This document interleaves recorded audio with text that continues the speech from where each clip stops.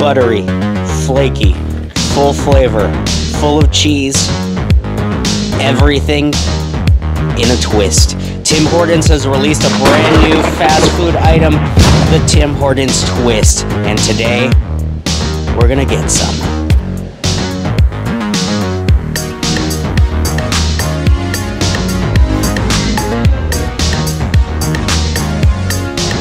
I have acquired the twists and I'm going to have it with a delicious bowl of soup. Let's go. So here we have it. We have the two new twists. This one here is the everything twist. So basically anything that you have on the everything bagel, which is gonna be located right here, on a nice flaky pastry. And now this one is just the cheese one. There's no cheese inside. It's just got like a nice coating of cheese. Um, it's really just like the um, cheddar bagel, I'd say.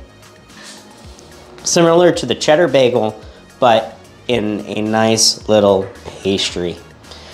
This here on its own, if it's not heated up, it could be very, very dry. Um, I did take it home with me, so right now it's hard as a rock. I'm gonna microwave it for about five seconds to get it a little bit more, uh, I'd say softer.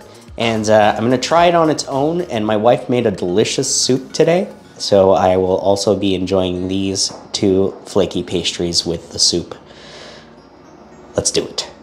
So here we are. I nuked them for about 30 seconds. These things are piping hot. Steam is just pouring through it at this point, and it's nice and buttery and soft, very pillowy good texture from the, I guess, cheddar cheese topping on top. The full flavored one as well. Woo!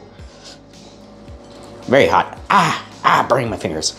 This one's a little bit doughy. This one might be slightly undercooked, but um, also has a nice touch to it.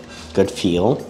Poppy seeds are nice and a nice hearty bowl of vegetables grown in the garden that my wife made to go along with these buttery twists. All right, let's dig into it. So I'm gonna start with the cheddar one. You can see inside there's little bits of cheddar. It's not overly stuffed with cheese by any means. It's just kind of a flaky pastry with the cheddar topping on top. It's got a nice chew to it. Mmm. It's nice, but for the price range, I don't think I'll ever get it again. I guess it would be nice if you had like a nice soup and one of these, but for the price point, you could just get like a bagel. It would probably be cheaper and more delicious than, than this. The fact that I microwaved it definitely helped. I'm gonna try it with the soup. That's what it's made for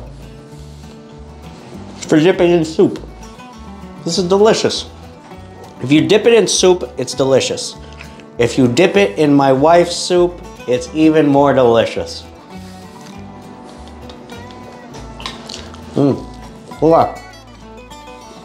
Now, the full flavored one.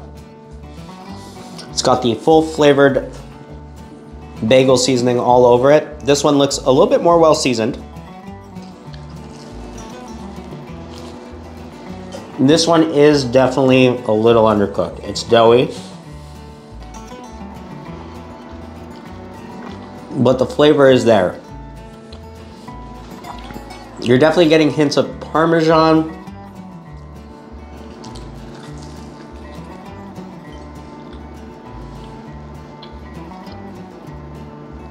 Paprika, onion, garlic, and the poppy seeds are a nice little touch on its own, pretty good, but once again, the price point kind of kills it for me. At that price, get yourself a bagel, get yourself a nice little donut on the side. Unless you're having a soup and you want like a little bread and you're kind of tired of bagels, then I would say go with the twist. Definitely meant for soup. Would I ever get this again? No, should you try it? Definitely. But get yourself a side soup. Thanks for watching. Hmm. And if you liked that video, how about these videos? And don't forget to like, comment, and subscribe. It would greatly help the algorithm. I'll just be here, dipping this in the soup. Oh yeah.